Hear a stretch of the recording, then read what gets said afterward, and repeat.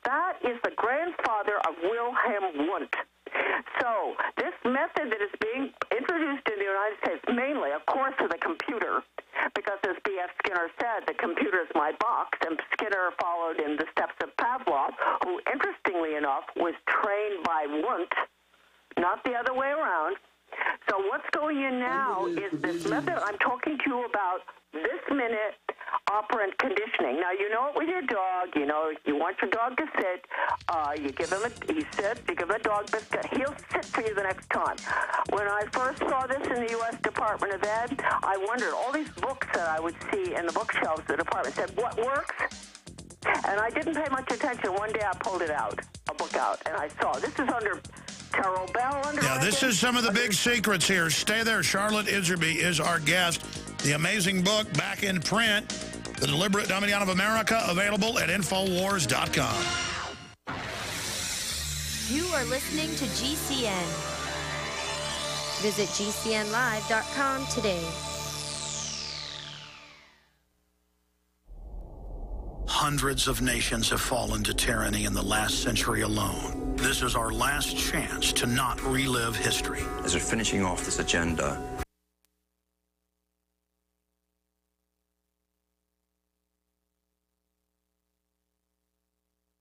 American citizens to pay attention. Fall of the Republic identifies the enemies of our nation, the criminal offshore cartel, hell-bent on destroying sovereignty and on its ashes constructing world government. Tim Geithner, Bernanke, there are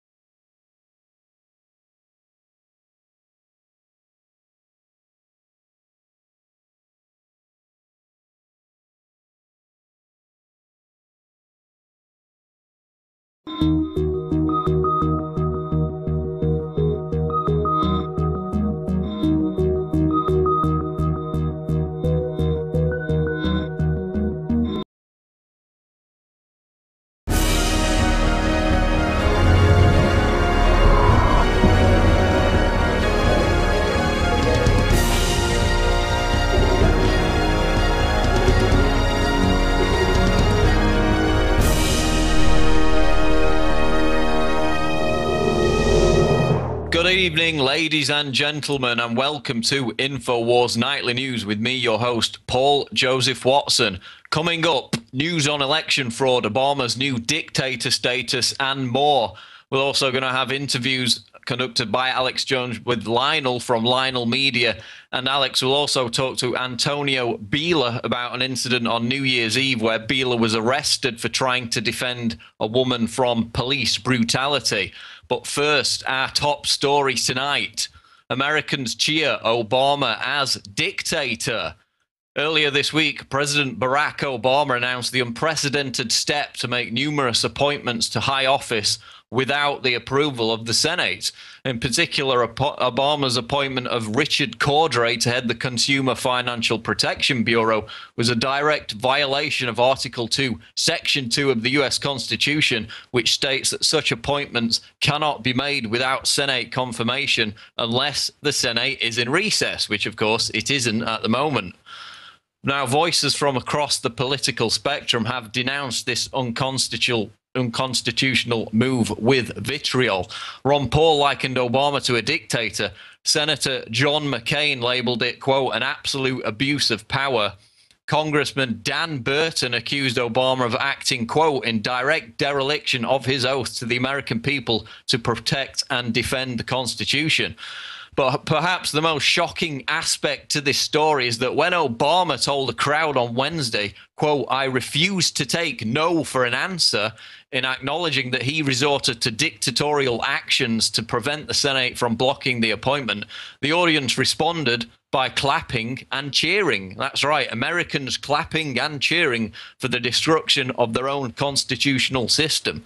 But that's just the tip of the iceberg check out this compilation of clips where the audience also whoops, hollers, and applauds Obama for suggesting that he take on the role of dictator and bypass Congress altogether.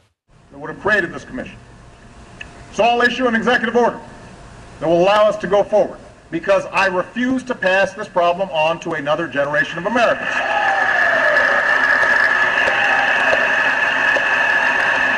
I know some here wish that I could just bypass Congress and change the law myself.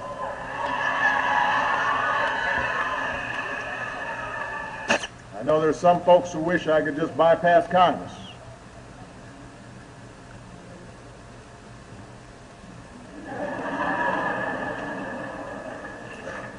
I can. Now, I know some people want me to bypass Congress and change the laws on my own. Believe me. And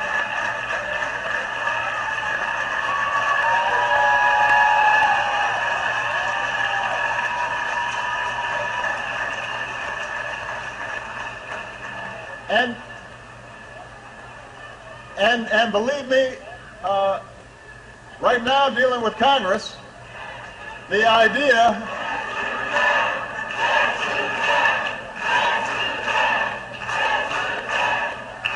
but, but, but believe me, uh, believe me, the idea of, of doing things on my own is very tempting. So there you have it. Not only is the Obama administration flagrantly violating the Constitution and announcing it publicly, and of course, Nancy Pelosi says she's, quote, proud and very glad about what Obama is doing with these appointments. But these Obamanoid cult followers are openly urging the president to assume dictator status. That's what the most frightening aspect about this whole controversy is. Now, moving on to our next story Iran war games set to coincide with US Israeli drill. Just days after the end of the previous round of war games, Iran has announced that it intends to launch a massive new naval exercise in the Strait of Hormuz, a key oil choke point, in a few weeks' time. Quote, the newly announced Iranian drills, codenamed the Great Prophet, may coincide with major naval exercises that Israel and the United States are planning to hold in the Persian Gulf in the near future, reports RIA Novosti, the Russian news outlet. So we're going to have three countries all engaged in war games within this congested geographical area. And this, of course, arrives after the US provocatively sailed the uh, John C. Stennis warship through the Strait of Hormuz uh, at the height of Iran's previous round of war games just about around a week ago. An incident that prompted Iran to fire off test missiles and warned the US ship not to re enter the Persian Gulf. And of course, this is all ongoing amidst the EU's oil embargo threat and the financial attack on Iran's economy, which has already devalued their currency by 10%. Now, on the face of it, the threat of something going awry amidst two major overlapping war games is, of course, a, a, distinct possibility. But let's not forget the aftermath of the last major naval confrontation between the United States and Iran in that very region.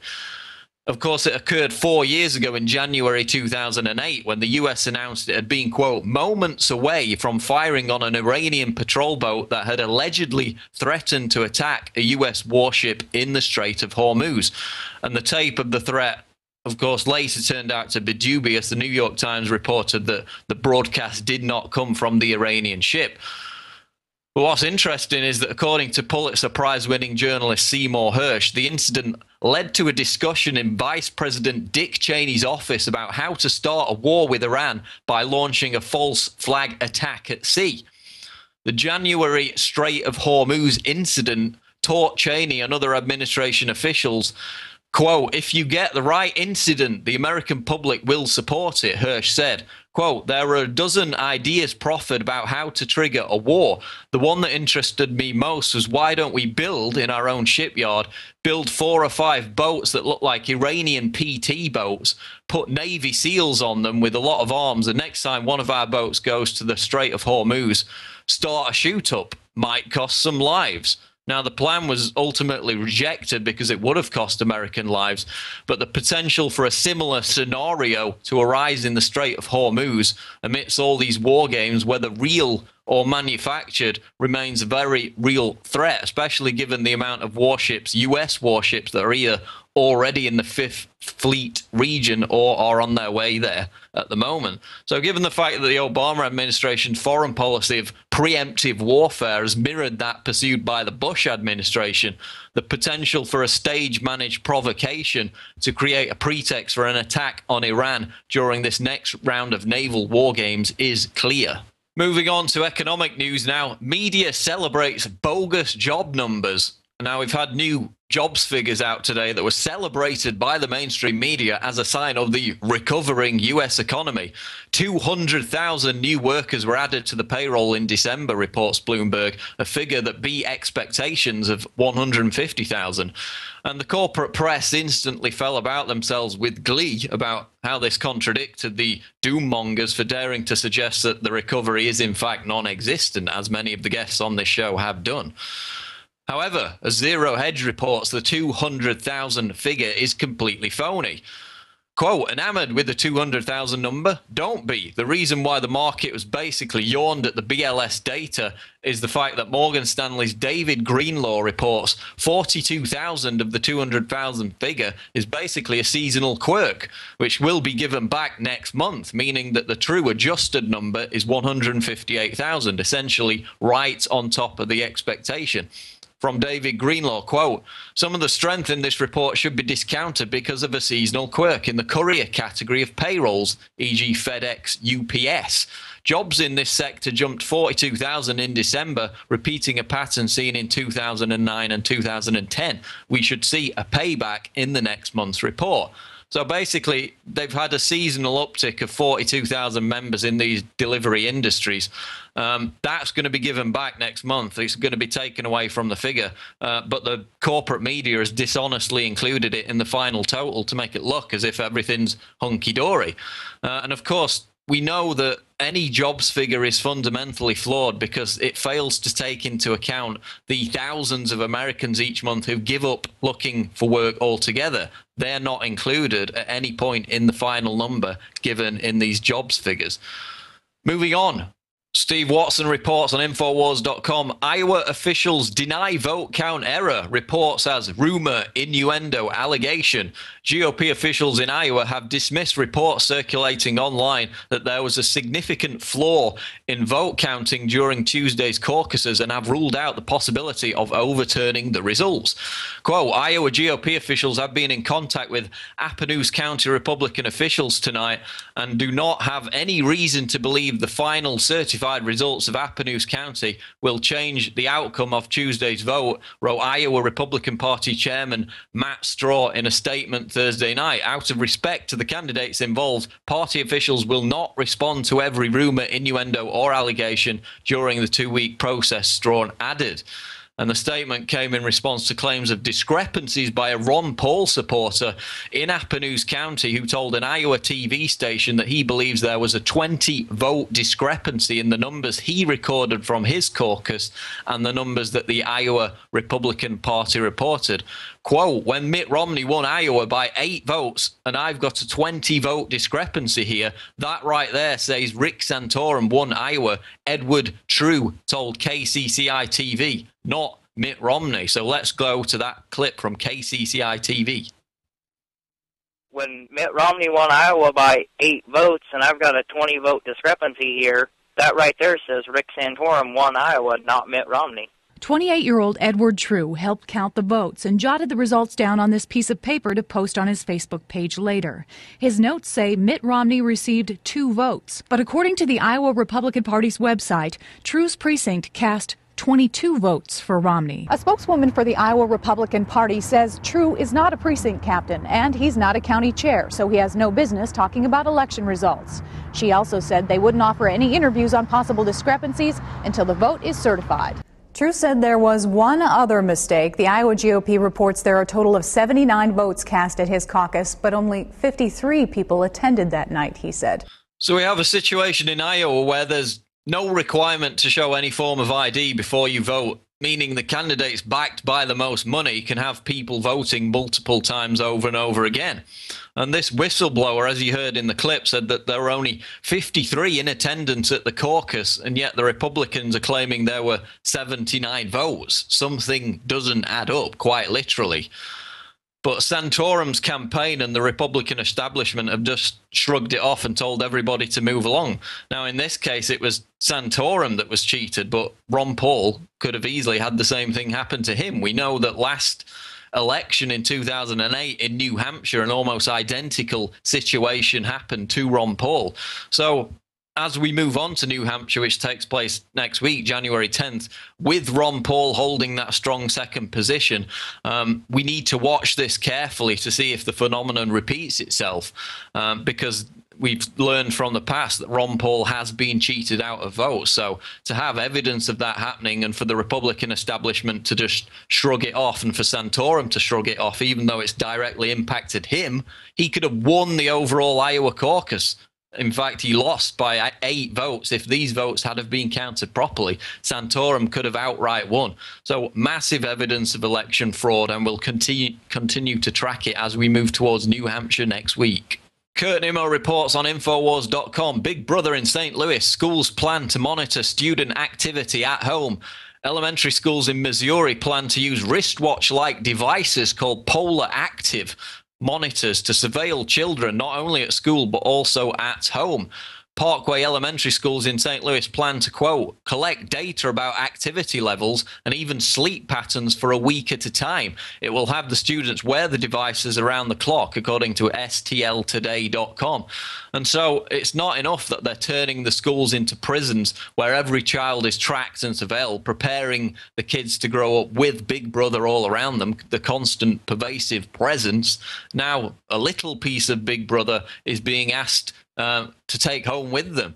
Just like the laptops that were taken home by students in Philadelphia with built in webcams that allowed school administrators to spy on the kids, which of course prompted a class action lawsuit. And just like the other cases we've covered where social services are kidnapping so called obese children, it's safe to assume that if these activity le- levels, if these exercise levels measured by these wristbands are not up to scratch, then harsh questions of the parents will be asked. Yet another reason to join the growing army of parents who have decided to homeschool their children. Moving on, Obama propaganda front Media Matters attacks Alex Jones and Ron Paul. The, the admitted Obama White House propaganda front Media Matters is now trying to kill two birds with one stone by smearing Ron Paul because he regularly appears as a guest on the Alex Jones show. Woe betide. The headline Conspiracy theorist Alex Jones rallies for frequent guest Ron Paul. Quote, though Republican presidential candidate Ron Paul has received scorn from some in the media, he can count on a loud and toxic supporter, radio host Alex Jones, one of the country's leading conspiracy theorists and promoters of the claim that 9 11 was an inside job. And this piece basically tries to imply that it's some kind of dirty secret that we support Ron Paul and that Ron Paul's team acknowledges our audience as enthusiastic supporters of his campaign. It's guilt by association, trying to link Ron Paul with the supposedly discredited, in their words, Alex Jones. But the question is this if Alex Jones and InfoWars are so discredited, then why has traffic to our website surged over the last two years while traffic to MediaMatters.org has dwindled? Why does InfoWars rank within the top 1,800 websites on Alexa.com, whereas MediaMatters.org is struggling down at 15,000? Why are they constantly attacking us? I'll tell you why, because at least we try and be honest in our reporting and what we're about. Media Matters, on the other hand, won't tell you that they're an attack arm for the Obama administration. They won't tell you about how they're tied at the hip with Think Progress part of, as part of John Podesta's progressive media propaganda campaign, described as, quote, in their own words, quote, a war room for promoting the foreign and domestic policies of Barack Obama. This is John Podesta, Clinton's chief of staff, head of Barack Obama's transition team. This is the guy behind Media Matters attacking Alex Jones, attacking Ron Paul. This is the guy who runs the organization whose stated goal in their own words, is to quote, drive the White House's message and agenda, and yet they claim to be this non partisan media group. They won't tell you about the $1 million donation they got from billionaire globalist and convicted insider trader George Soros. Now, the difference between InfoWars as a media platform and Media Matters is that we don't pretend to be anything else than what we write and speak about every day. We're out in the open. We're proud to be mouthpieces and supporters of Ron Paul because we share the same message of liberty. There's no shame in that. That's why we've got total transparency. And we don't need to hide who our paymasters are, like Media Matters, because their paymasters are George Soros and people whose mission, in their own words, is to drive home the message of Obama and his White House. So, Media Matters is nothing more than a mouthpiece for the Obama administration and the Democratic Party, which is, makes it no surprise that they're attacking both Alex Jones and Ron Paul in the same breath.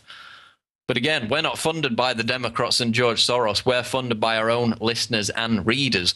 And the fact that people are becoming more aware of that is why Media Matters, struggling down in 15,000 on Alexa.com, is losing more readers every day, whereas Infowars.com becomes increasingly trusted and increasingly surges in the ranking because people have seen past the little conspiracy theory jibe and are starting to realize that at least we try to be honest in reporting the facts and we're backed by our own message of liberty, which we share with Ron Paul, not backed by the Obama administration and George Soros. Moving along now, Kurt Nimmo, Infowars.com reports former SS boss proposes global email fusion center. Ronald Noble, the former head of the Secret Service, the BATF, and Secretary General of Interpol, wants to create a fusion center with the with the ability to track and trace your email.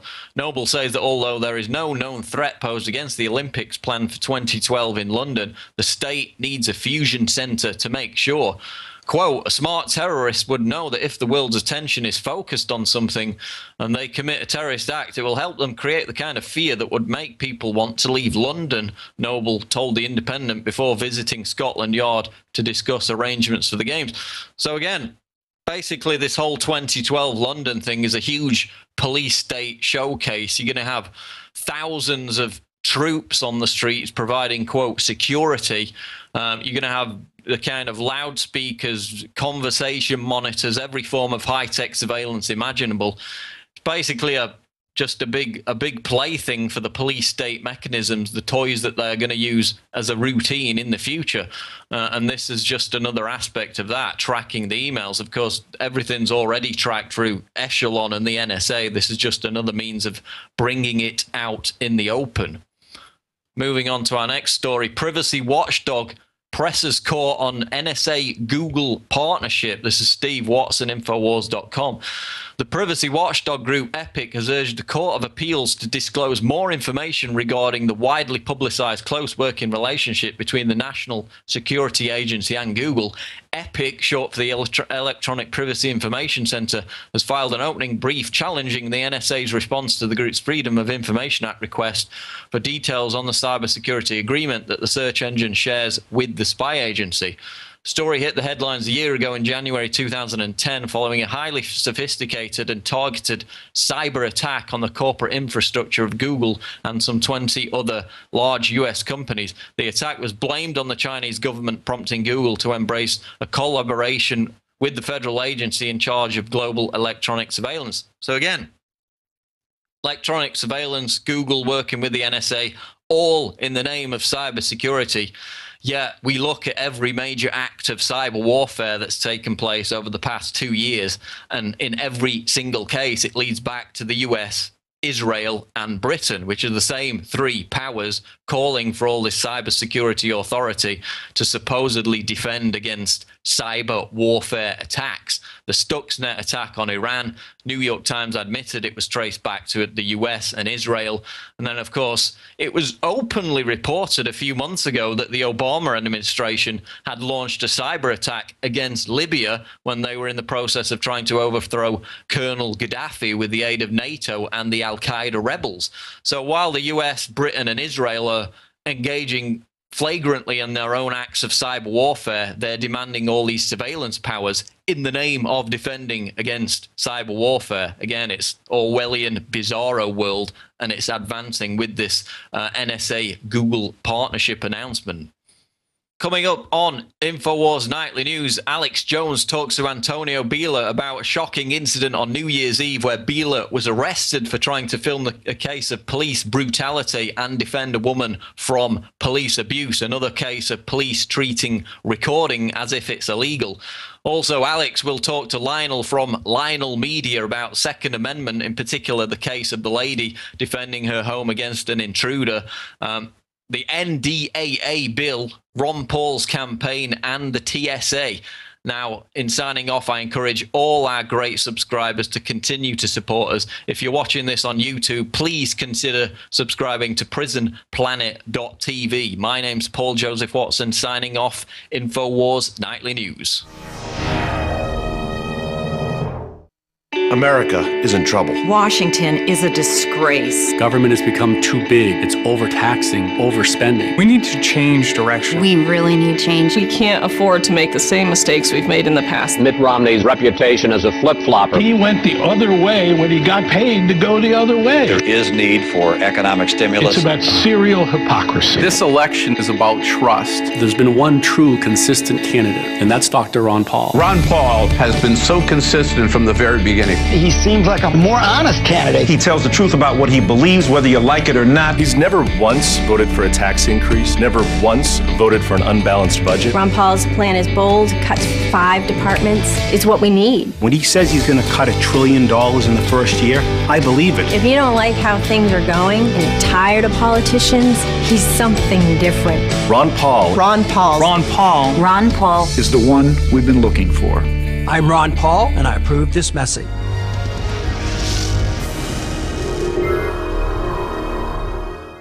Welcome back. It is the Friday edition of InfoWars Nightly News. I want to thank Paul Watson for kicking off uh, the news with the uh, news section this evening. I'll also have some other news stories I'm going to cover uh, at the uh, end of, of tonight's uh, broadcast.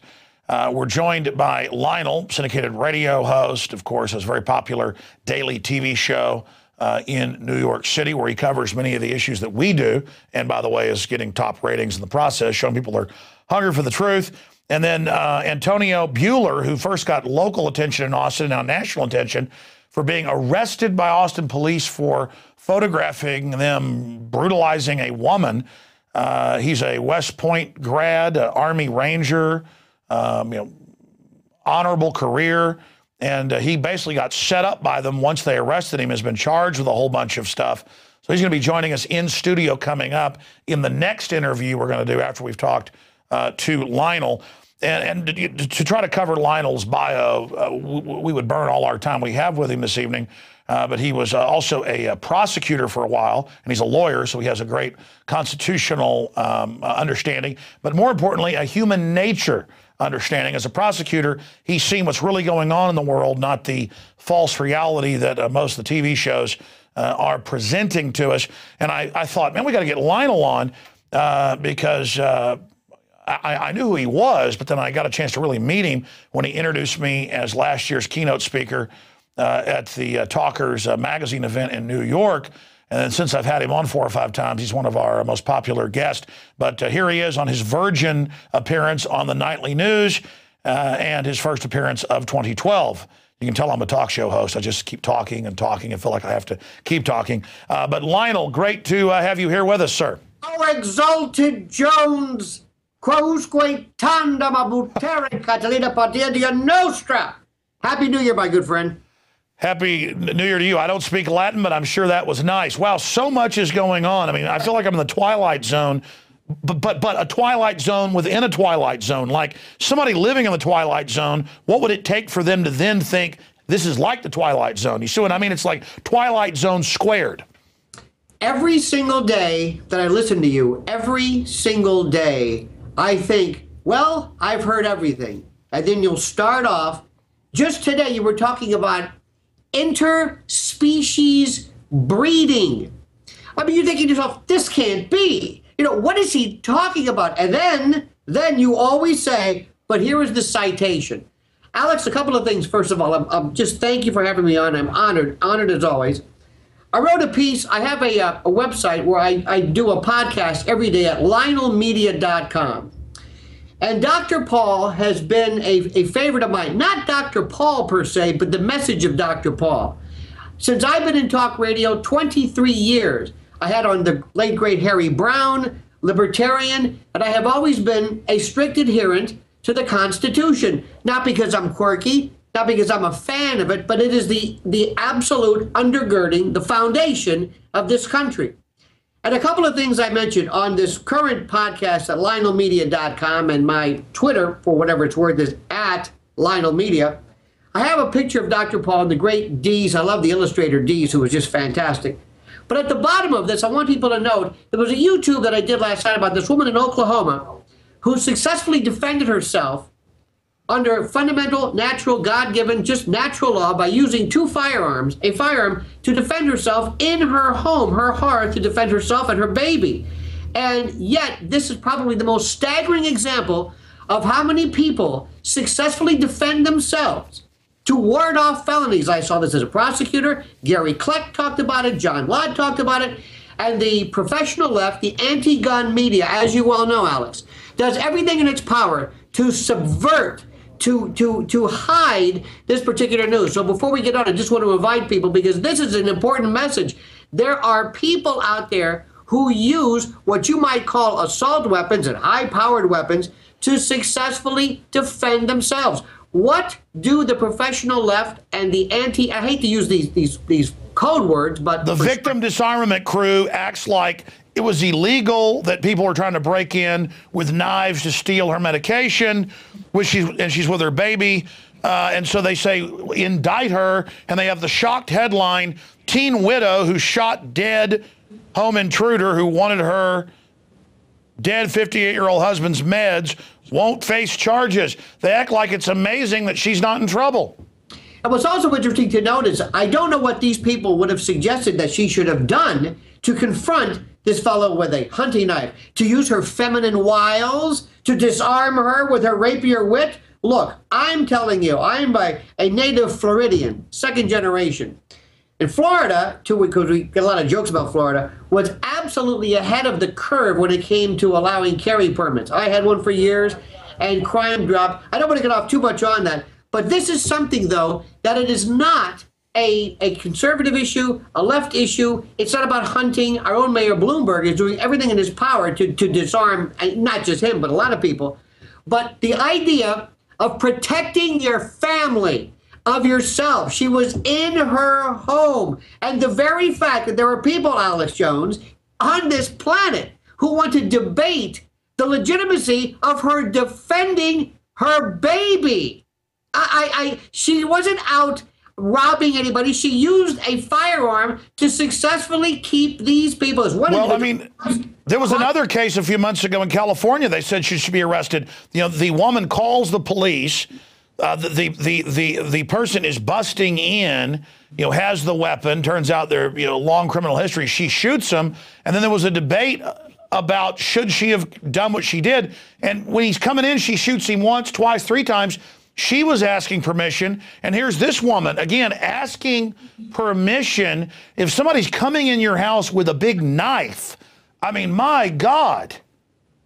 You know, Alex, there's a couple of things here, and I and I get, you know, the, the beautiful part about your show, you and I are very much alike. I had a program director one time who says, you know, you veer. And I love that. And the great word is desultory. We're like human pachinko machines. We care them. You say something and we go somewhere else, and, and certain things will inspire different thought. But this is something that just goes to show you, and I'm going to tie in Dr. Paul. The Constitution, the Second Amendment, has nothing to do about hunting. The Second Amendment has nothing to do with plinking. The Second Amendment has nothing to do with going out and shooting cans off of a, of a wooden fence. It has to do with the fundamental ability of the citizenry, number one, to defend itself against the onslaught of a rogue government. This was the this is the basis of our country. That's number one. But number two, and you don't need the Constitution for this, it is common sense, it is axiomatic, it is obvious that when somebody poses a threat to you, and there are different, I know, in, in Alex, we, we can argue, you know, if you're in your car, if we're at a stoplight, was I menacing? Could I have pummeled a man of your brawn and girth? That's okay. When a woman is in her home, in a mobile home, by the way, not exactly the strongest of construction, you can presume that somebody means something nefarious. In addition, I want people within the sound of our voice to ask whether they have a castle doctrine in their home, in their state, whether they have the stand your ground doctrine, because a little bit of law, you know, normally you have to retreat. And it's common sense. You know, the law says, look, if you can possibly get away for your own good and also to prevent or to prevent. But if you're in your badger hole, there's nowhere else you can go. And honey badger don't care. That's all I got to say. I'm sorry, Alex. I have hijacked the show heretofore and I apologize. I am contrite, sir. Well, I love it when you veer into the Second Amendment. I've got a lot of questions for you, but you know, I see this all the time. But in England, where they've really expanded on this victim disarmament deal, I've seen cases where a thief falls through the window, the skylight, and so you're then charged, or where a woman is, is being raped and the guy turns around and she shoves him you know, out, out a balcony window, three stories, and she's indicted. Or the farmer has a three generation hidden shotgun the third time he's r- Right. robbed and beaten up. So he shoots a guy with a shotgun and, and they vitriolically send him to jail. This shows you have a criminal government that wants to fully rout the instinct of good people to defend themselves. You know, Alex, years ago when I was in Florida, or as I call it, Florida, which is different from where people vacation, but I mean, we're talking, you know, Hillsborough County, Lafayette, you know, but we're talking very serious uh, hunters and cattlemen, and in Florida is not what people think. But in 1988 or 89, there was a glitch in the law when they passed this new um, Chapter 790, this new weapon statute. They did not have, for reasons nobody ever understood, but they did not replace a, a statute that prevented people from carrying basically six shooters down the street. So for eight or nine days until they could call an emergency session in, for eight or nine days in the state of Florida, it was legal to walk down the street with revolvers and holding a shotgun because remember, the law prefers that you not conceal a weapon. So for eight days or nine days, don't hold me to it, but for a period of time, at least a week, in the state of Florida, it looked like Dodge City. So, well, you would have therefore seen a concomitant, you know, uh, uh, rise in crime. On the contrary, people at convenience stores were saying, "Come on in, coffee's on the house." Alex, who in their right mind decides, you know what, honey? I can wear my pearl-handled revolver on my hip. I'm going to rob a bank today. I'm going to commit that crime I've always wanted to do. Why? Because the only thing, Alex, that was keeping me from robbing, robbing that bank, from menacing that couple, was I could not legally purchase a firearm or wear one. But now that I can, I'm going to do something. I mean, it, it, it, it defies all logic. But I've got to say, though, Lionel, this is one of the few areas where we've actually gotten traction. And I've seen the polls. People are now figuring out guns really are good. Uh, they really do lower crime, and it really is the answer. And no amount of demonization will fix it. Briefly, because I want to get into NDAA, Ron Paul. uh, clear evidence now they admit election fraud in Iowa, but we're supposed to just move on. But I want to get your take on Fast and Furious. I mean, now the Attorney General's been caught perjuring. Now they've been caught shipping guns into Mexico. If you read the fine print in the cases, it's drugs back into the U.S., uh, money laundering, everything. Uh, I mean, is, th- is this on the radar screen when you're on television every day on, on Channel 11 or twice a day? Oh, no, no, no, no, no, no, no. In fact, it is with me. Now, understand, uh, the great people at Pix 11, we do, you know, local news and sports and that kind of thing too. But the reason why you're not going to see this is that the tenor of this is set by the Ted Baxter, sock puppet, cookie cutter, echo chamber, bumper sticker, playbook media. They are defanged, impudent, castrated geldings. They wouldn't dare bring this up. And I don't know if it comes from on high. I don't know. You're not going to hear this on MSDNC. You're not going to hear this on NBC. Nobody seems. It, it's as though, Alex, for some reason, this is off limits. I don't know who sets this. Now, maybe if it was a different time, but what I don't understand is simply this. Why aren't the Republicans themselves? I don't think it's just NBC or MSNBC or CBS. I don't know if everybody is told, shh, keep this quiet because maybe there's implications to Bush. Bush, I'm not sure. No, no, no, no. You're right. You're right. Uh, I mean, you, you probably saw this, but we knew there were similar programs under Bush. He just wasn't going to use it to blame the Second Amendment.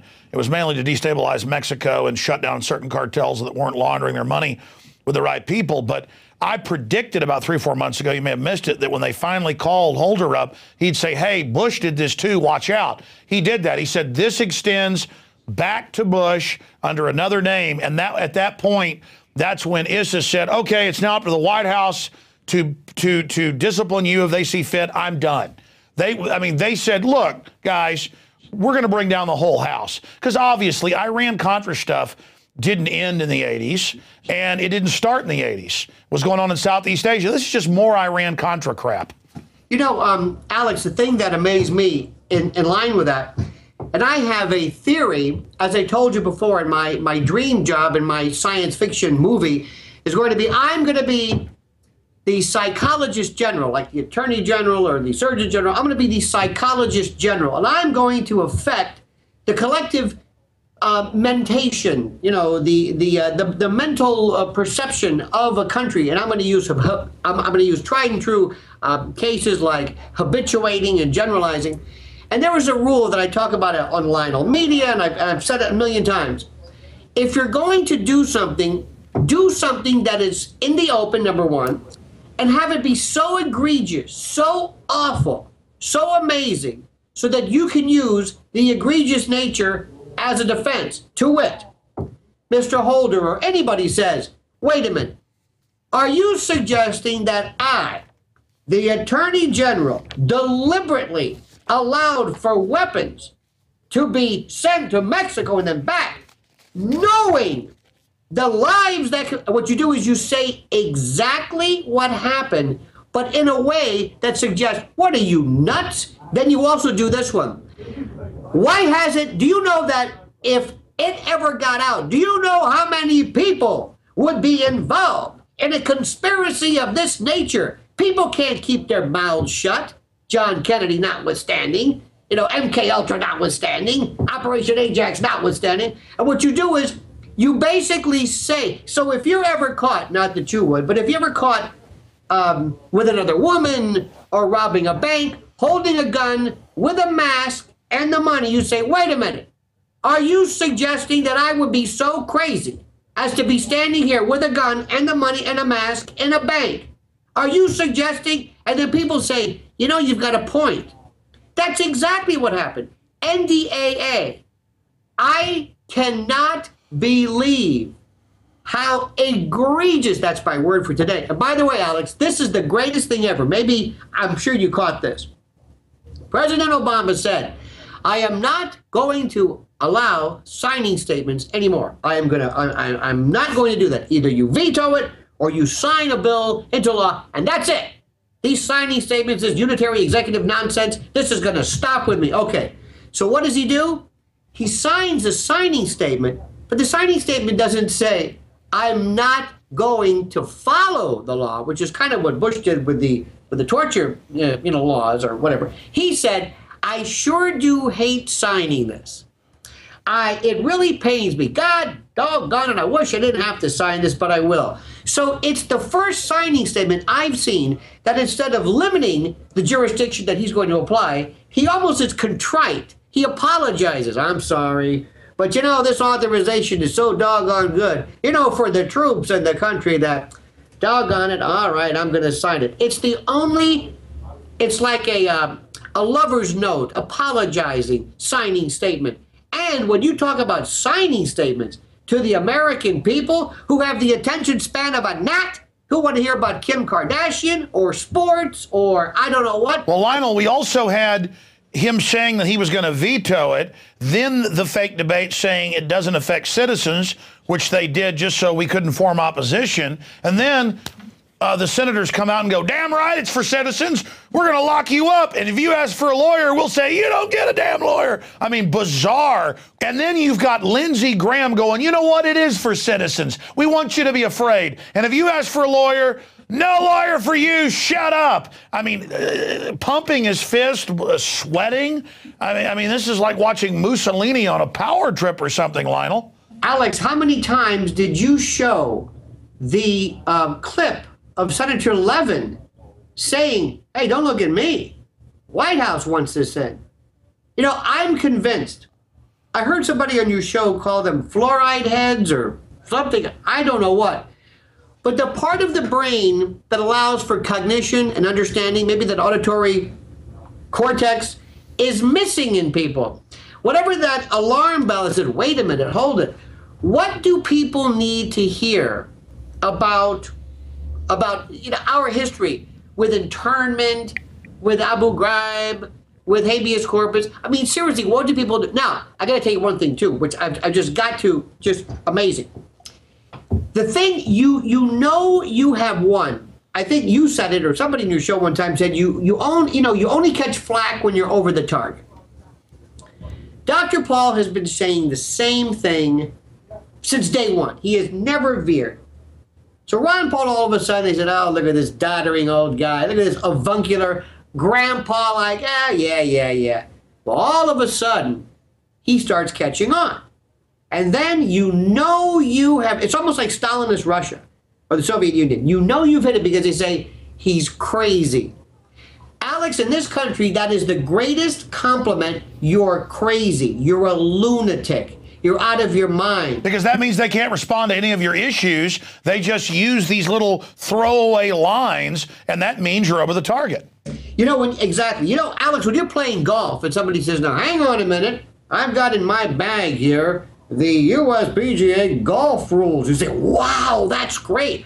I'm really impressed. Or, you know, I'm watching this baseball game and I happen to have the official rules of baseball. Ooh, because on a sports show, how you you will not be allowed to say word number one if you don't know the fundamentals of a game. But under American politics, in our system, if you pull out the Constitution, just like you did the rules of golf or baseball, you're looked at some kind of a hair splitter, a nut, some lunatic.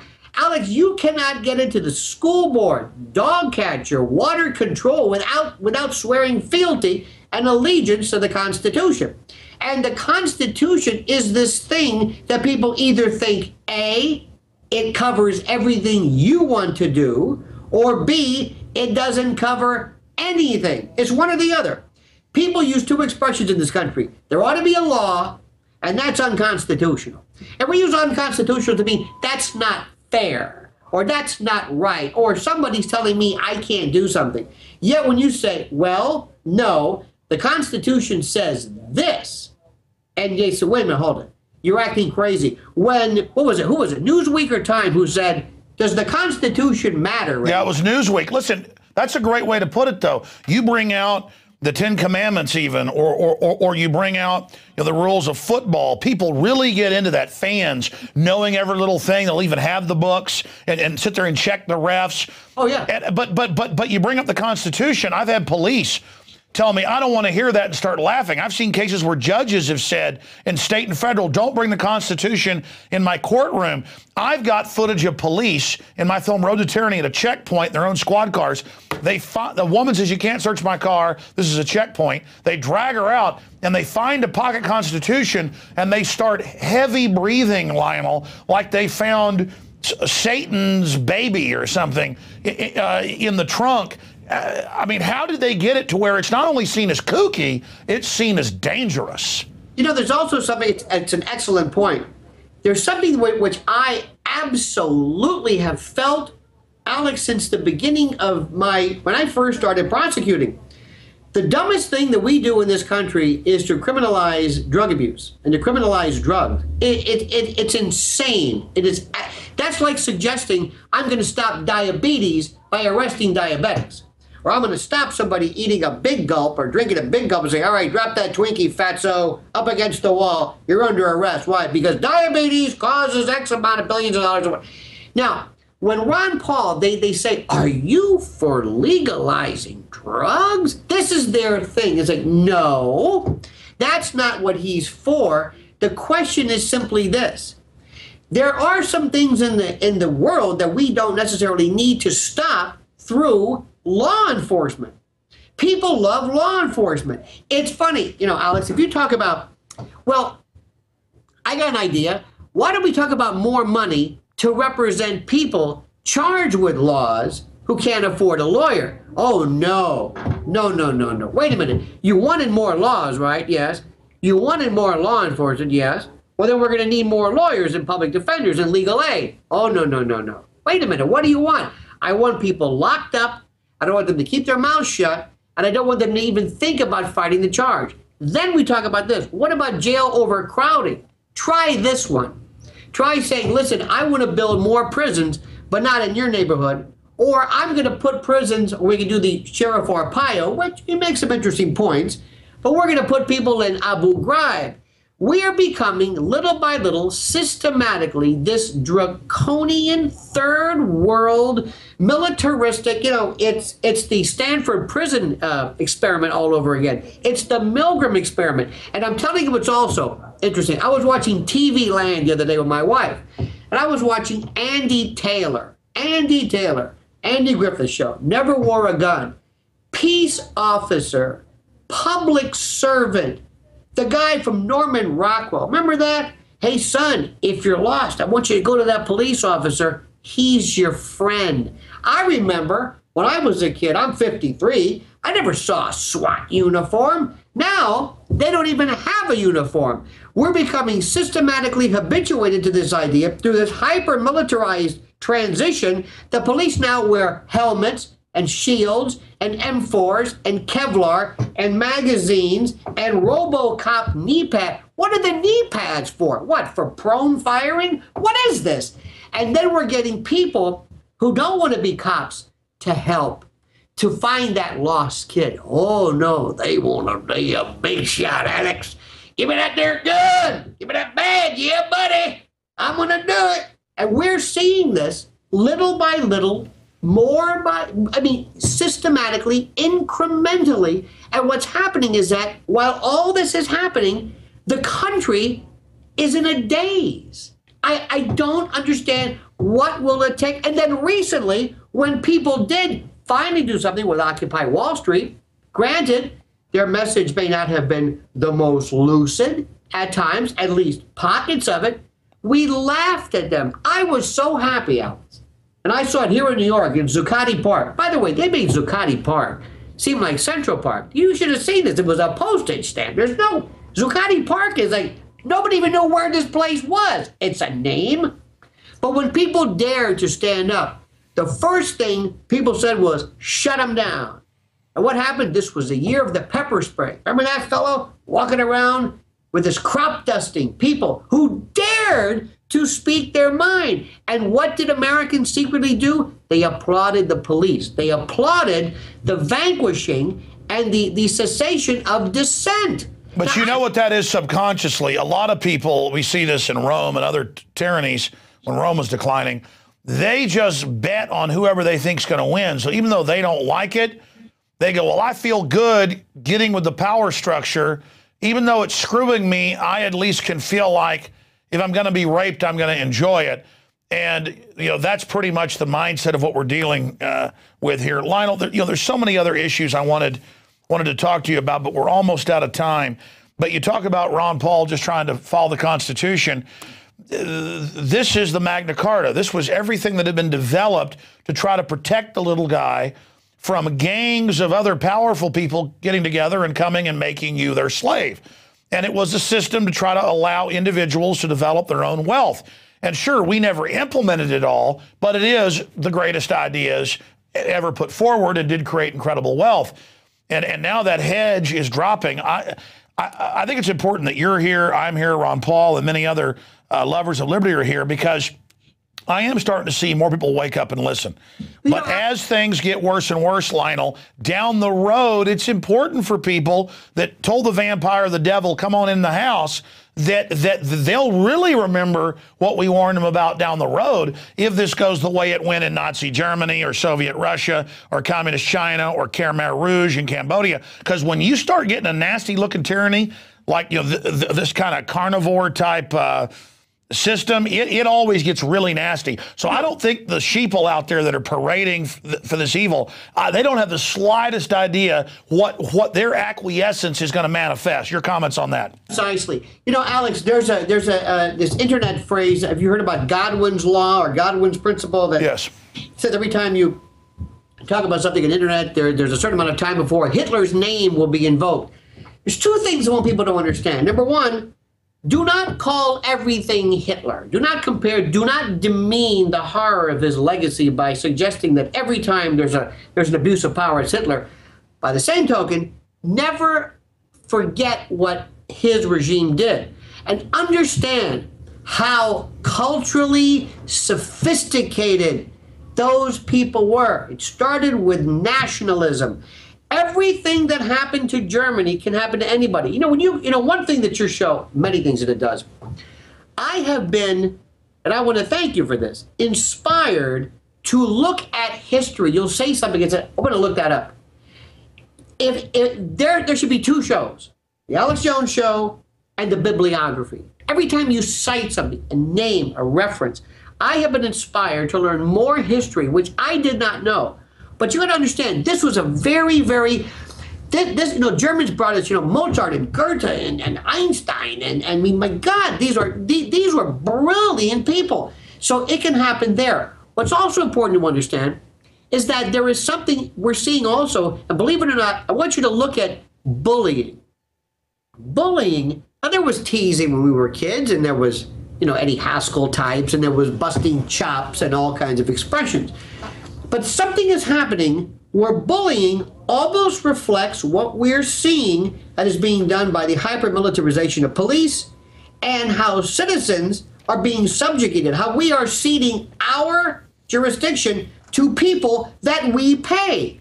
Remember, these people, the police, bless their hearts, good for them, they work for us. We're seeing it even at the grade school level. Kids who are taking on this, this mantle of absolute, not, not just, I'm going to push you around, but I'm going to own you. I'm going to drive you. I don't want you just to cry, Alex Jones. I want you to kill yourself. And I'm going to come after. Think about it.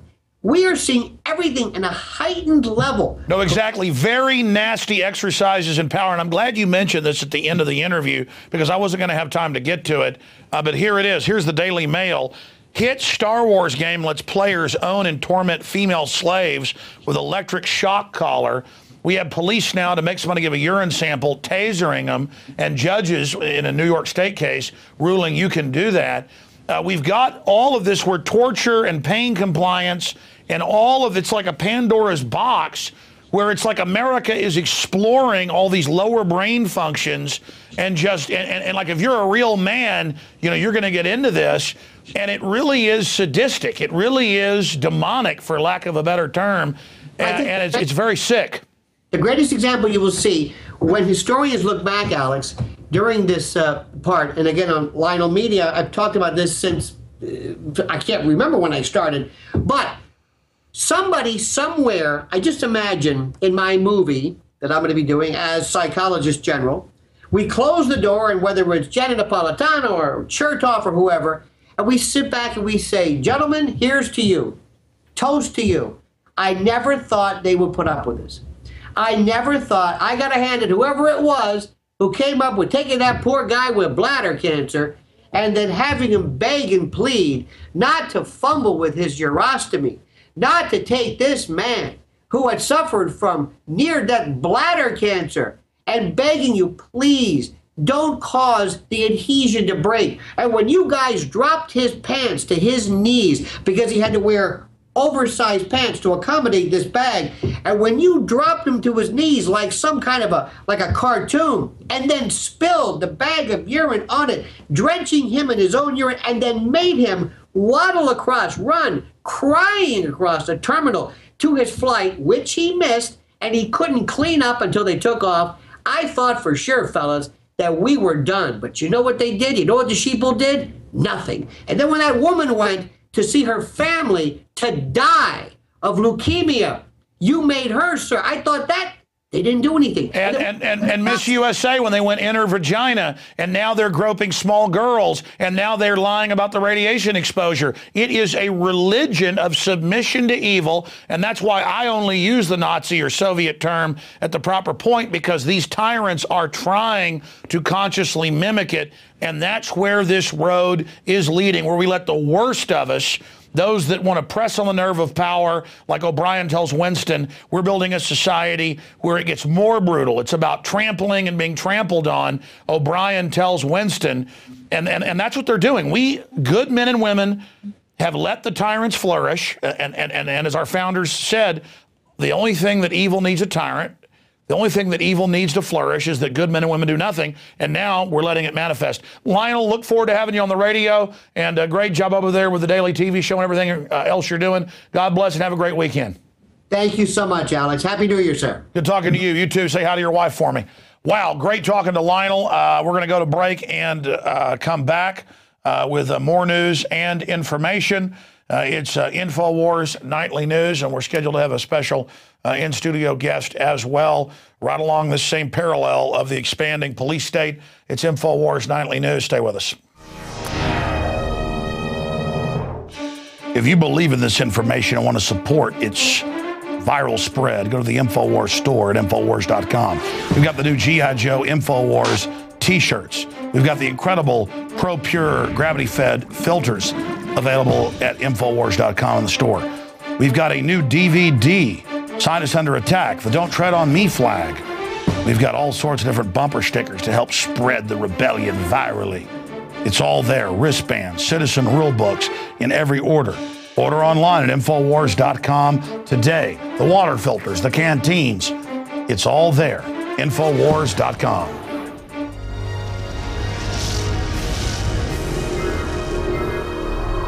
To call what I did a crime is, is ridiculous. Michael Allison publicly recorded law enforcement in Robinson, Illinois. Now he's charged with five felonies with 15 years in prison for each count. That's a total of 75 years if convicted. 75 years in prison.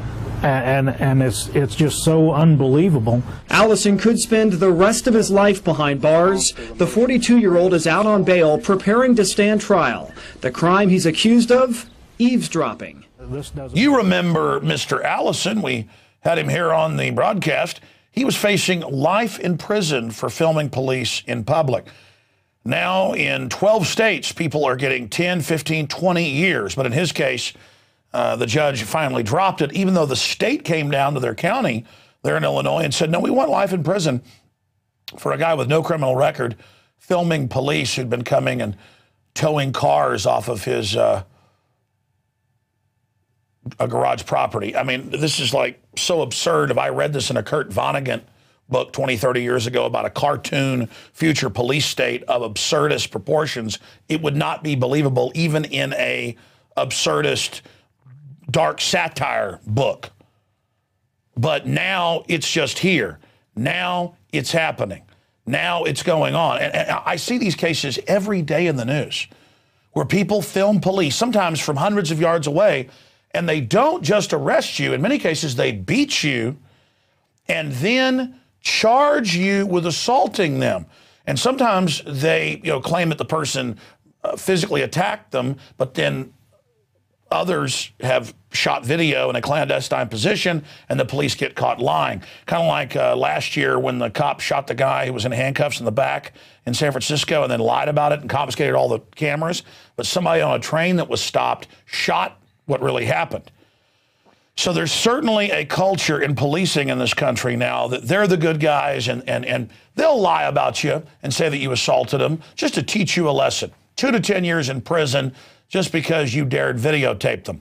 Now, in uh, this latest case that happened a few days ago in Austin, it's gotten local attention. Now it's getting national attention. Uh, because this gentleman has never been arrested, has no criminal record, is a national and state liaison for West Point.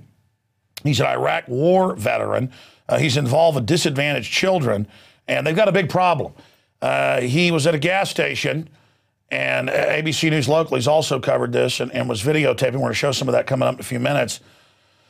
Um, and was taking photos of them manhandling some women. They were pulling out of uh, a car, a passenger, and so they came up and got in his face, and uh, the police didn't know it was being videotaped from across the street. They said that he had assaulted him, but now that the videos come out, they say, well, we mean he spit on us. Uh, and the police officer told him in the paddy wagon, I'm going to teach you a lesson.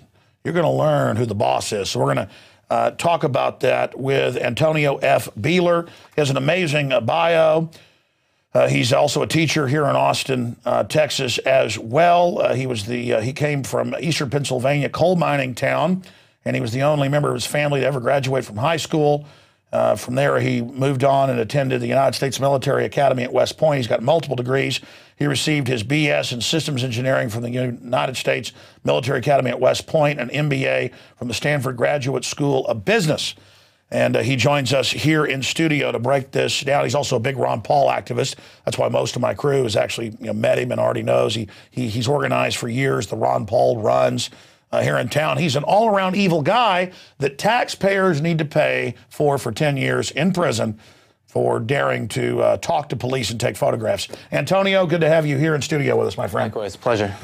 Well, you're a very evil person here. I mean, I've got all your your uh, bio as a West Point uh, Department of uh, you know Defense uh, liaison, you know, uh, uh, for recruitment and all sorts of other things. and now you're in a bunch of trouble. So tell us tell us exactly what happened on record, because His Lordship Art Acevedo, the Austin Police mm. Chief, who sat in that chair, says that his officers did a wonderful job. right. So it was New Year's Eve. we just came back from a house party.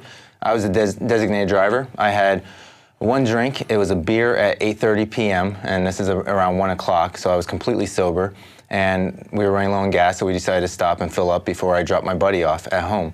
Uh, we pull in, and in between us and the street is a black sedan that's pulled over with a female outside of it getting a field sobriety test. We observed the fact that she was in high heels and she was freezing and doing this field sobriety test. We just thought it was kind of uh, awkward, but nothing to really, you know, get too focused about. But uh, they were there, so we just kept watching. I'm filling up the gas tank. Uh, when we get finished, uh, you know, we noticed that a cop, the bulkier, uh, dark-haired cop named Snyder, is walking over to the passenger side, opens up the door. And the next thing you know, we just hear a very loud scream. Uh, I turn around, look, and she's flying out the door. Uh, the officer yanked her out the car, right to her knees on the concrete um, twisting her arms behind her back. The other officer, the light-haired guy, his name is Oborski. He runs over, joins in. Uh, they, they have her arms locked behind her back and they lift her up that way. And, and I've had police do, uh, do this to me in, in Round Rock when I asked George Bush some questions at a press conference they didn't like, where they do crank the arms up, but not even this high, and I still have a, a mm. shoulder yeah. you know, damage 14 years later. This yeah. happened in 1998. Mm-hmm. Uh, and, and, and, we've got a photo we can show that you yeah. took where they've got them just cranked all the way up. And you say that they later actually picked her up this way. That's right. I mean, from my from my perspective, that's a torture move. Oh, absolutely. I, and she. Of course, you're an Army Ranger. I mean, I'm I'm, I'm, I'm sure probably in your uh, training where they give you to know how to withstand torture, you already knew that. Well, I, am I'm, I'm Ranger qualified, yeah, but yeah. Uh, no one no one's ever picked me up that way. I, yeah. I, don't, I don't think I would have uh, and, enjoyed and there's it. the photo, but you're saying they continue to pick her all the way up. Right, they picked her up according to you know they pulled her up that way, and she screamed. She was uh, you know screaming and crying. She was in so much pain. Uh, my friend and I, we started taking pictures. Um, she saw us taking pictures, and then she just begged us. She's crying, and she begged us, "Please film this, please film this," because she knew she, she was being assaulted. And then, uh, so they walk her towards the squad car, and then Oborski, the light-haired guy, he just turns around, comes back towards me, and he's marching towards me, and he's asking something along the lines of, "Who do you think you are? Why are you taking pictures?" Uh, he gets in my face. You thought you were a citizen. Well, I, mean, I, thought I had First Amendment rights. Yeah. So uh, he gets in my face, uh, starts yelling and screaming. I'm yelling and screaming back at him. It's my right. It's my duty. Um, you know, public official, public. And we have place. some footage of that as well. You're at the 7-Eleven. Mm. You're standing back. Mm. You're getting this, these photos. Lady's begging, woman in distress. Uh, they're putting her through these different pain compliance mm. moves. Mm. Please continue. So then eventually he just pushes me and pushes me uh, in, in, the chest area, throws me back. I immediately uh, put my arms up like this to protect myself so that they didn't think that I was doing anything. Um, then uh, I scream, you know, why are you touching me? You have no right to touch me. Get your hands off me. Get out of my face. And he's yelling at me. Now, that uh, is official oppression. We have the video where your arms are yeah, clearly up. Yeah. You're leaning back yeah. so they can't even. Now, I saw reports a few months ago where they beat people in fetal positions. Mm -hmm. They say that is resisting an assault. Uh, apparently. So now, a now a newborn baby, they might as well billy club it to right, death. Right. Because it's with Al Qaeda. Please right. continue. Yeah, I never did anything aggressive. I just put my hands up, and he's leaning in on me, and I'm leaning further and further back uh, over the bed of the truck. And uh, at some point, he just claims, "You just spit on me." And I said, "No, I didn't." And then, uh, and then he starts trying to grab my arm, and uh, then, uh, you know, he, I was putting my hands up, and I was trying to stay stiff because I saw what they did to that female and I didn't want to get broken arm, uh, you know, a dislocated shoulder. You, um, you, didn't want to roll over every night with excruciating pain in your shoulder like I do. Well, 14 years later, just because well, they wanted to show me they were boss. Right, exactly. I mean, that, mm-hmm. that female was manhandled. Um, so they eventually take me to the ground. The other officer, I don't know if it was Snyder or someone else that came in on the tail end of it. I think it was Snyder. Uh, puts me in an arm lock literally slamming on the back of my elbow as if they're trying to dislocate my elbow. They want to show you. Oh yeah, they, they, they wanted to, to really hurt me. And I asked them point blank, I said, are you trying to break my arm? And then another guy comes running up to the side and I just thought he was gonna kick me in the face. So I just screamed at him, are you gonna kick me in the face? And then someone says, I'll tase him. And then I, I immediately put my hands behind my back because, you know, I, I know p- bad things have happened when people have been tased. And well, then- yeah, they'll once they can say you're resisting. Once the tasing begins, then the blood feast, the piranha attack begins like sharks in a frenzy. They could taser, taser, taser for quite a while Right. uh, as they're enjoying the masochistic pain. Yeah, and and after that, they pulled everything out of my pocket. Uh, my I said, can you at least give my keys to my friend so he's not stuck here? They said, no, too bad. Um, and then they put me in a squad car, and uh, eventually drove me to the Batmobile, and where they decided to administer a blood alcohol test on me. Uh, they said that I was a DUI, and I asked them, I said, are you just making up claims now? Uh, and they said, well, you were drinking and driving. and then I, I laughed and I said, you know what? I'll take the test because I want to see how ridiculous the score is. Um, they, gave, they made me blow twice and then told me to sit down. And I just kept asking, what's the score? What's the score? Because I wanted to know the score. I wanted to know if it was 0.00.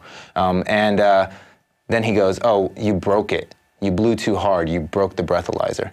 And then at that point, I believe uh, Orlowski, uh, or uh, Borsky, or whatever his name is, he comes back into the uh, vehicle, and the guy looks over at him because he knows something's wrong, and goes, "Is this guy a DUI?" And he goes, "Oh, no, no, no, he's not. He's not a DUI." And so the guy turns to me and goes, "Well, what are you in here for?" I, I said, "Because your uh, your fellow officers decided that they, were going to assault a female, and I decided to take pictures and uh, question their tactics." At that point, um, I get taken out to the paddy wagon and I have a little conversation with the Borsky. And I really hope that there's some audio for this. That, that would be fabulous. But the, uh, the essence of the conversation was you don't F with cops. You don't get in our effing way. You don't question us. And we're going to teach you a lesson. And Obama launched wars without Congress and the Constitution. He's now assigning judges, pure power grab. They're talking about impeachment mm-hmm. because you don't get in his effing way. Mm-hmm. Uh, Hitler said, don't get in my effing way. Stalin said, don't get in my effing way. Caesar said, don't get in my effing way. And the banks have said, don't get in my effing way. They just take people's houses that are paid for now. Why have a rule of law? I mean, who are these cops that want to live in a country with, where their own families aren't safe? Mm-hmm. I know a lot of police aren't bad people, but they are recruiting thugs now. Yeah. And they're trying to recruit people. I know you were in Iraq, but but the ones that like and enjoy the same type of activities we saw there, and it's really creepy. This has become a news issue now. Uh, how did it become a news issue? And um, I mean, obviously, you're facing you know two to ten years in prison. I guess you're going to take this all the way to a jury trial. Absolutely, yeah. Um, I, I felt pretty uh, vulnerable. Um, I'm sitting in jail. I think that you know my life is going to take a, a, drastic detour. I know that I didn't do anything wrong. Um, it, it, started out with I was interfering, then it turned into a DUI, then it turned into felony uh, harassment, and I, I, knew that they were just making up claims. And I didn't. I, I, just knew a felony was bad. I didn't know what the actual legal code, code was. I didn't know that it was two to ten years. But uh, you know, I, I, knew that I was in a bad situation, and it was my word against a bunch of a, a bunch of cops. So I knew as soon as I got out, I had to take the offensive. Uh, go to the media. There were uh, at least two witnesses at the scene that my friend had noticed. One was across the street who ended up taking the video. We didn't know that at the time. After the ordeal was over, he started yelling at the cops. What did they do? Nothing. They did nothing illegal. They were doing nothing wrong. And the cops yelled back to him, you know, you need to keep walking or else you're going to be the fourth arrest tonight. And he said, why? I'm not doing anything illegal. And they said, because it's 2 a.m. on New Year's Eve. The other uh, witness tried to come up to my friend to give him her business card, and the cop stepped in between them until my friend he began get, get so now blocking witnesses, blocking right. citizens. Yep. Uh, having communication yep. with each other. Got to keep the prisoners yep. apart. So, so I created flyers. Uh, my, my, friends were helping me, uh, Facebook and Twitter friends as well, and we just started plastering, uh, you know, the flyers with the, the picture of Oborski. Yeah, you need this witness, or they're going to be able to falsely accuse you, fair, uh, bear false witness, and Right. throw you in the jail. Right. Which is incredible official oppression. Yeah. I mean, it's the way so many police now beat people up Mm. and then charge them with assaulting them like we're not humans like having our lives ruined because they're cops we're just supposed to Yeah. you know l- uh, live like this Yeah, and and and God, uh, you know, thank God, I mean, um, these two people just came forward, and uh, not only two people came forward, three people have now come forward. Uh, the all people have contacted me, said that they're they're going to you know sign affidavits, that they'll stand up in court, and, and they'll they'll speak the truth about the uh, police abuse, uh, the the fact that uh, you know the police assaulted two innocent civilians that night, and that they uh, levied false charges. You know, both me and the female who was assaulted, we were uh, told that we were interfering with an investigation. Well, she ended up getting a, a public intoxication charge, and I ended up getting a felony harassment charge. Neither of us got uh, interference of an education. uh, so to be clear, though, you you told me off air that they pulled these people over at 7-Eleven, Mm. and that the passenger was was telling the driver about her rights, and that that's what caused them to attack Dog Herb. I mean, That's in your right. own words. Yeah, no. So she, uh, her friend was getting out of the car when the cop pulled her over, and she just said, "Don't take the breathalyzer." And uh, you know, uh, her friend goes back to the back of the car, and so she yells again, "Do not take a breathalyzer." The cop, uh, Borsky, comes up, leans in the car. I don't know what he said, but he essentially said, "Shut up! Don't don't don't get in the way of this, uh, you know, uh, sobriety test." And then uh, she's sitting there and she's just looking in the rearview mirror, and she sees her friend is scared, and so then she yells again. She's on the phone actually as well, so there's another witness.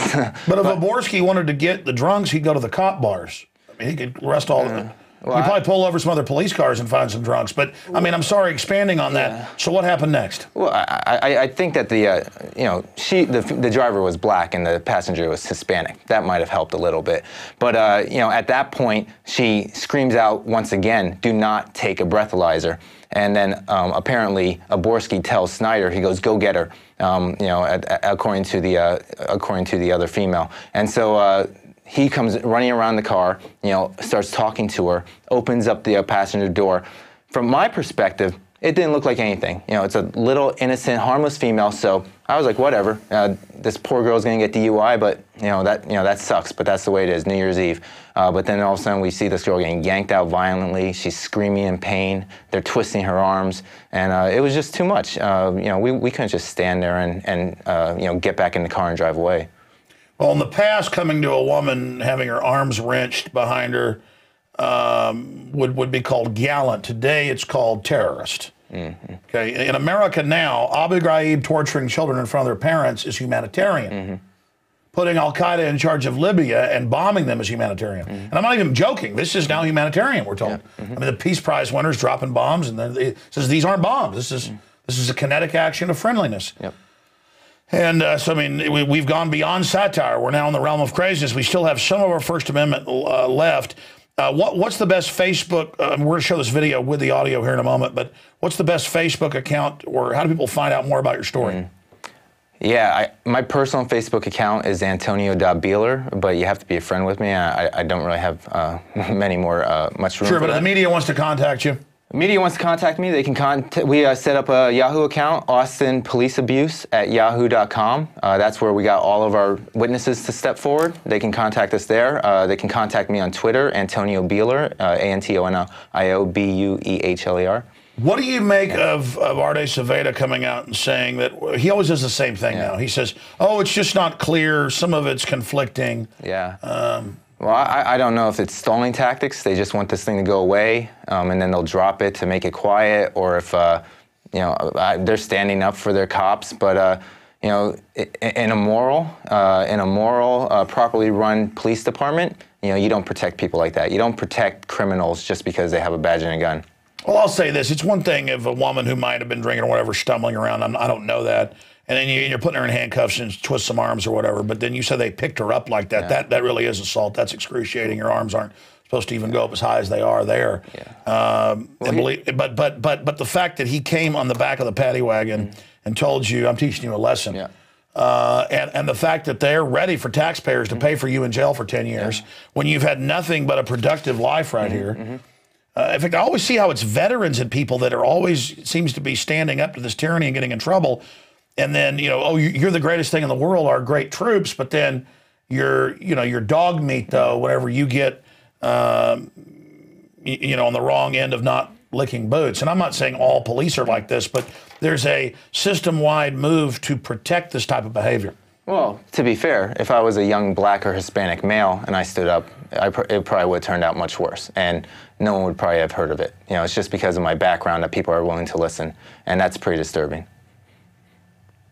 So, uh, I mean, have you had a chance to talk to the police since then?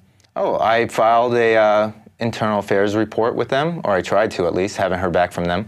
Um, um, I, uh, I mean, they, they, they haven't been uh, you know radio silent. Um, I've, I've called them. Uh, Well, I mean, it's a big deal when they're comfortable to say that you gave them felony assault by spitting on them. I mean, did you spit on them? I don't see it on the video. Of course not. I, only a fool would spit on a cop that has a badge and gun. You know, it's just stupid. Um, you can see in the video quite clearly that I'm backing up the entire time. Yeah, no, he's the aggressor. You're trying to de-escalate things. Right. You know, every time I want it to turn out they're telling the truth. It's like this case down in South Texas where they said no, we didn't shoot him in the back of the head, and now we know they did, and now we know that they reportedly did know it was a BB gun, and that the kid was desperate and freaking out. And, and look, if somebody's busting in my house, I'm going to shoot a BB gun or not. I, I, I'm I'm not even. I can understand why this happened, but then it's the lying always. It- It's the fact that it's just constant lying. And I understand the cover your butt thing, but when that becomes systematic, then there's these abuses of, well, let's just put Antonio in jail for 10 years. Yeah, cover your butt, but sending someone to jail for 10 years, that's ridiculous. Well, and again, covering your butt isn't good, but because it always leads to then that. Right, right. And, and then and then what's coming next? It's this. It's this. Well, it's, it's just funny. This cop who assaulted me and the other female, um, he won the award last year for the most DUI arrests. You know, they, they celebrated the fact that he had the most DUI arrests. The female who got assaulted, she was uh, arrested for public intoxication. Typically, you get public intoxication after the driver is arrested for DUI. She got ha- manhandled and arrested for that before the driver was even finished with the field sobriety test. So they have everything all, all backwards, and they're just trying to throw people in jail. Well, no, the, the, this is what feeds the government now. Um, Eleven percent of Texans are having an arrest warrant out. Uh, meanwhile, uh, you know the good guys rot in filthy jails. Um, it's, just, it's it's really disgusting to to have seen this happen. You know, I had the Austin police about five years ago, four years ago. Rick Perry had gone to Bilderberg, and he came to town, and he was at a fundraiser at a hotel. We had about hundred impromptu demonstrators. Said, "Hey, he's down there. Let's go protesting." And we're on the sidewalk. We don't need a permit. We're not blocking the road. And the Austin police have lost dozens of lawsuits over this. They know this. And the captain comes over and he says, Leave now or I'm going to arrest you. This is in front of witnesses. I didn't have a camera on him. Uh, and then he comes back later on camera and says, Leave now or I'll arrest you. And then a local newspaper comes over and says, Did you really say you'd arrest him? You didn't leave. He goes, I never said that. He's a liar. And I got so mad at that guy. And they got the riot police already across the street, dressed him, tried to intimidate us. And I said, Come on. You guys know I'm going to sue you for this. But they were ready and they were getting their billy clubs ready. And it's like, You're really trying to intimidate my First Amendment. I mean, you, you've got a criminal traitor, Rick Perry, that broke the Logan Act, went to meet with the global crime bosses about carving up Texas Energy and shutting down our power plants. I'm just here. Everybody else is getting drunk and watching football or whatever. I'm here on a you know Sunday night, bullhorning this guy, protect my rights. Mm-hmm. And, and, and and you know every time the cameras would walk off, he'd be like, "I'm gonna get you," and it, it was just like, "Man, you really are a scumbag." Mm-hmm. And I blew up at him, you know, at that point because it's just like, "Man, you really are just a thug." You, I mean, it'd be one thing if they thought they were a good guy and abused their authority and were on power trips. It's that so many of them, and we see this through history, though. They're they. I mean, I don't know about the guys you ran into. But, but but but clearly a lot of them really are just control freak thugs, bullies that went and got a badge and a gun. Uh, in closing, where do you go from here? Oh, well, we're, we're trying to get the charges dropped. Uh, they're ridiculous. I think that they should drop all, all charges against all people involved. Um, I think that uh, Austin needs to investigate, uh, fire this guy, and put, uh, throw him in jail. I mean, he's a criminal. He, he attacked people. But right now, the focus is. Uh, And and you're saying false false charge, false police report that you spit on him. Yeah, and that and assault. so yeah, I mean, th- these two guys are loose cannons. Uh, you can't have cops running around with guns assaulting peaceful citizens. Oh, meanwhile, you know, in case anyone happened to forget, that same night, around the same time, there's a madman running around less than two and a half miles away, assaulted three women, killed one. So, you know, the, the cops are more worried about people who aren't really drunk and two uh, peaceful citizens who, you know, hadn't attacked anyone or hadn't hurt anyone and were no threat to anyone. Meanwhile, uh, they, you know, someone was just going around and uh, trying to kill women. Priorities. Well, yeah. Uh, wow. I tell you, there was a day and age when police would be embarrassed to be out enforcing and doing little petty money raising tactics. Well, this guy is uh, his official title is apparently something like a DUI enforcement officer or something. So it's not like this guy actually deals with real crimes. He just picks on drunk uh, people uh, who are driving home. Uh, I mean, I had cops pull me over where I only have a, a water, Mm-hmm. and they say that's alcohol. I'm going to search the car. I'm like, you know, that's not. You just want to search my car. Shame on you, man. That's a water. It's four o'clock in the afternoon. Mm-hmm. Well, let me look at it. I'm like, okay, I'm gonna, I'm gonna play along with you. You know that's water. Well, I'm gonna check your tent now. Let's check. And I was like, I'm gonna check. I was like, man, oh, the tent's okay. They're like, mm, what's what's this? And I'm just like, man. Uh, again, it, it, it's being treated like a prisoner. It's the system wants us to think we're bad and they're good. Right, right. And they're just looking for charges. You know, I'm sure you, I'm sure you saw the uh, thing in New York where they were planning uh, drugs, right? Oh yeah, well Dallas got caught doing Yeah, that. so- Tulia, Texas. Houston's been caught. They all get caught. Yeah. Well, unfortunately, they don't all get caught. A lot of innocent people Well, sit in jail. Sure, Yeah. sure, but I mean, most major police departments have been caught Exactly. framing Right. people, running the drugs. Right, right. I mean, hell, the Justice Department ships the guns into Mexico and the, and the drugs back in. Well, we're going to uh, let everybody make their own decision watching this video that luckily your friend shot from across the street as we go out here. my friend. Random, random citizen doing the right thing. Okay. Well, I'm just a, a good Samaritan. Yeah. But uh, and and thanks to you putting flyers up, you know that's what's really turning the turning the uh, tide here is that citizens have cameras, and that's why they're trying to put people in jail. Have you heard about them throwing people in jail for life for filming cops? I, I, I remember following a case in Maryland that was pretty disturbing. Oh, they were filming cops beating people, the riot police from like 100 yards away, yeah.